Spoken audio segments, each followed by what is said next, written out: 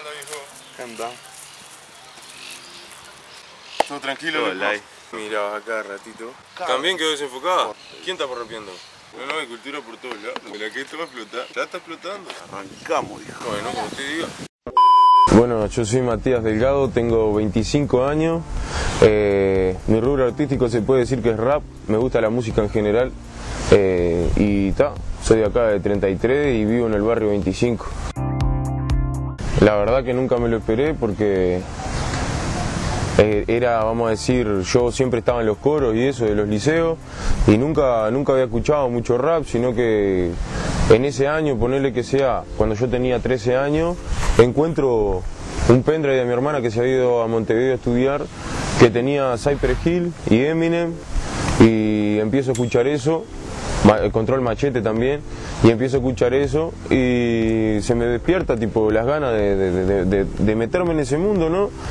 Y un día conozco a Gastón Martínez, Negro Gastón, y empezamos a juntarnos acá en la agraria a tocar los bongos y a compartir tipo noches de música como lo hago con mi amigo el Leo Zunino. Y agarró y un día me dice si no le pintaba que, si a mí no me pintaba que yo cantara, ¿verdad? Y agarré y le dije que sí, que me pintaba cantar. Y empecé a meterme más en el mundo de las métricas, ¿no? Eh, a, saber de compases y sobre rima y eso. Y me empezó a gustar más y más y más y empecé a explorar mi cabeza y me, me empezó a como a llenar eso, ¿no? Vamos a decir, a llenar. Y un día yo no era, tipo, no era de ir a batallas ni nada. Un día fue una batalla en Montevideo de freestyle libre y tal, y no llegué a nada, no concluí en nada, ni siquiera entré en los tres primeros lugares. Y un día agarré y me fui a la plaza con un, con un compañero a la 19 de abril. Y había una batalla de, de, de freestyle del otro lado, estaba el SEC, este compa que hicimos el tema del barrio 25, estaba el SEC allá del otro lado y viene corriendo y me dice, vos mirá, te anoté en la batalla porque me falta uno, me dice. Me falta uno y no sé qué hacer. Y, y yo no estaba como para eso, o acá, tipo, yo no era freestyler de batalla, nunca en mi vida. Y fui para ahí y vos sabés que me sentí tan cómodo y tan libre que la gané a la batalla. La primera batalla que competí la gané ahí y desde ahí dije, esto es mi vida, esto es lo que yo quiero hacer de por vida, porque sentí el impulso, ¿entendés? Me sentí bien, me sentí rodeado de gente que te da cariño realmente por lo que vos haces acá. Que no, no, no es falsedad, no hay nada de eso, es todo lindo. Aunque hay una parte fea, ¿verdad?, dentro de eso, pero es hermoso y está, está de más. El rap para mí es una expresión de revolución y es, vamos a decir, la forma de que toma una persona para explicar lo que pasa en cierto lugar, ¿no? Eh, es, es lo que yo siento, es lo real, no hay otra definición de rap, digo, es sentir lo que uno hace, lo que uno ama y expresárselo al otro y también expresar lo que pasa en la calle y en, los alrededores, ¿verdad? Que hay tanta gente en la calle, tanta gente viviendo mal y hay mucha gente que está desinformada, que piensa que todo es color de rosa y no es así en realidad.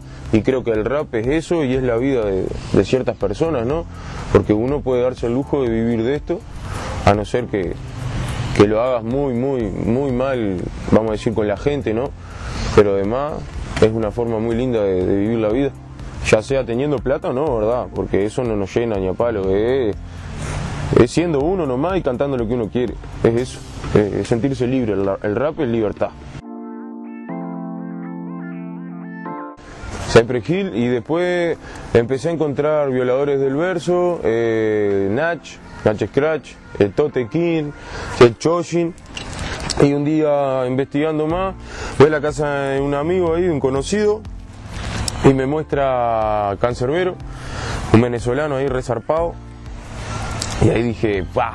Esta es la hostia. Y ahí empecé a escuchar más cancerbero y bueno, y ahí se, se me expandió mucho más. Y ahora escucho de todo, de argentino hasta españoles. De argentino puedo escuchar el Urbance, eh, escucho Acru, escucho, vamos a decir, Clan, Clan, el, batallero, el que le falta una tecla. Y tal, y en eso me, mantengo, ¿viste? Eh, está bueno Take K también. Y de España también escucho ahora, actualmente escucho a Fernando Costa, eh, a este de Loza y también escucho al niño Snake que tiene buenas letras, así que si quieren escucharlo estaría bueno que escuchen. Sí, sí, totalmente. Uno nunca sabe dónde va a llegar, ¿verdad? Siempre es un camino que te va poniendo obstáculos y cosas raras y, y pasan cosas en el medio, ¿verdad? Uno no está preparado para todo, pero creo que lo que te enseñan en tu casa es lo que refleja lo que sos hoy en día.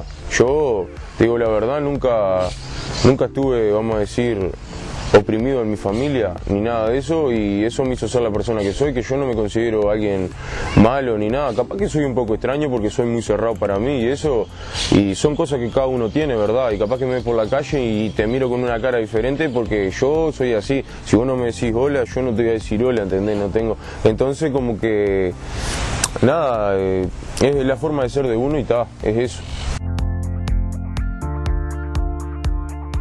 Eh, mi infancia fue muy, muy linda, muy linda, con mis padres juntos, con una hermana, después llegó otro hermano, Karen y Pedro, y siempre rodeado de cariño, de carisma, ¿no? De ellos, siempre.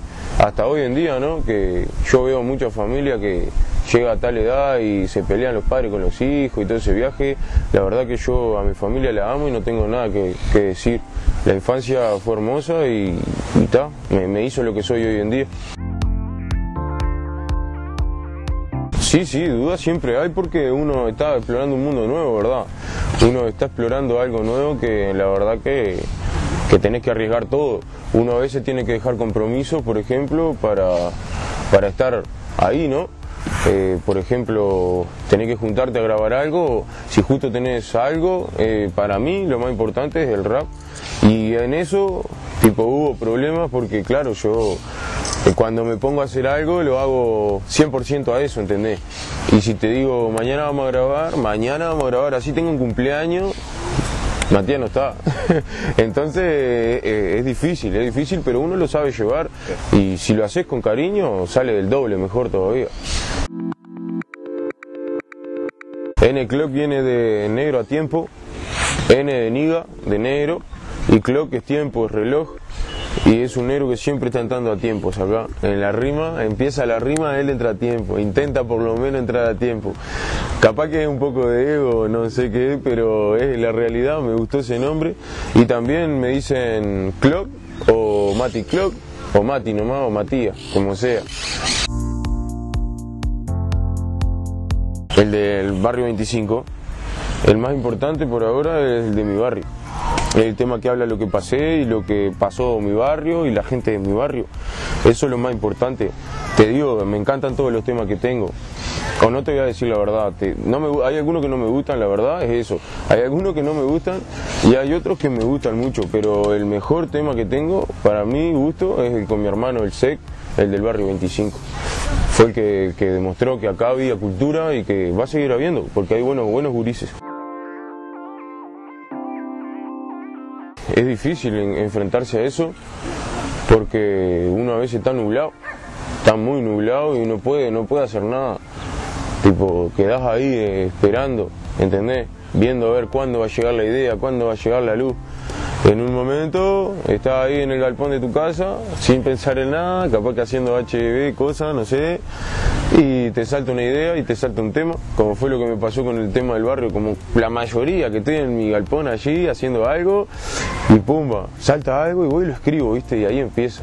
Esto depende también el cómo estés llevando la vida, ¿verdad? Porque si uno está viviendo porquería, va a decir porquería, si uno está viviendo cosas lindas, va a decir lo lindo de la vida y eso está bueno, ¿viste? Contar cosas lindas y cosas reales, no estupideces. Sí, sí, este año 2021 va a ser el lanzamiento de, no sé cómo llamarlo todavía, si va a llamar un nombre en inglés, pero quedé ahí esperando y no, todavía no sé. Lo que sí sé que va a haber colaboraciones de mi crew, de, del Tito, del Rory, del Maiko, van a haber colaboraciones y de alguna gente del Chuy también. Me dijeron que querían colaborar y va a salir un material lindo para compartir con todos, ¿verdad? Eh, de diferentes partes del país, que eso es lindo, que una gente, ¿verdad? Y está, estamos creándolo. Ahora este fin de semana que viene vamos a ir con el Tice ahí a, al Chuy a grabar un tema, a grabar dos temas en realidad. Uno es para el disco y el otro es una sorpresa que vamos a tener ahí que está bueno. Así que dentro de poquito miren eso que va a estar bueno. La actitud y el respeto que tengas. Porque uno puede ser muy bueno, ser el mejor, pero si no tenés respeto hacia el otro artista y respetar lo que él hace, no te va a ir bien. Acá, eh, hateando, siendo hater, como quien dice, ¿no? Que se le denomina ahora a los, que, a los, a los bocones, vamos a decir a los sapos, que hablan mucho, eh, llegás lejos sin mirar a los demás, digo, dándole para adelante a los gurises, porque quiera o no, capaz que no te gusta lo que hace, capaz que vos sos muy, muy rapero y te gusta mucho el rap, pero siempre hay que darle para adelante a los gurises y eso es lo que te hace buen artista, el compañerismo hacia los demás y, tener actitud también, porque si vos vas a un lugar y, y suponete, hay gente rapeando ahí, ¿no? Hay gente escuchando, perdón, y vos vas a rapear y estás así, así parado, ¿viste? Ah, no, no, no tenés nada. Si vos tenés actitud y vas de frente así y rompés, ¿entendés? Con los estereotipos, vamos a decir, se puede decir así o no. Pumba, eh, tenés toda la, de ganar porque la gente se va a aprender con tu energía, ¿entendés? Van a quedar todo, ¡guau! ¡Qué buena energía que tiene! Entonces ya es otra cosa. Y eso está muy bueno. Eh, mis redes sociales me puedes encontrar en Facebook por Matías Delgado perdón, eh, por Instagram por Mati Clock y en YouTube Clock Niga, que es el canal, y ahí me pueden encontrar los temas del barrio 25 y un par más. También tengo otro, otro paralelo, vamos a decir, que es de mi anterior productor, que el negro Masi, un saludo para el negro Masi, que es el propio, que fue el que me, enseñó, vamos a decir, a respetar, ir a grabar, vamos a decir, ¿no? Que teníamos en el cuarto de él un micro ahí y tipo, ahí empezó todo, vamos a decir, ¿no? Ahí empezó la locura realmente de querer grabar cuando encuentro al negro Masi y él me banca mil, eh, bancándome mil, cuando él tenía, no sé, mil cosas para hacer, ¿no? Él me dejaba un minuto a mí en, mi en la casa de él dos horas y ahí le dábamos y sacábamos un par de temas más que lo pueden encontrar ahí también, que están buenos, suenan de buena calidad, así que muchas gracias si lo ven, ya saben, Mati Clock en Instagram y Clock Niga en, en YouTube.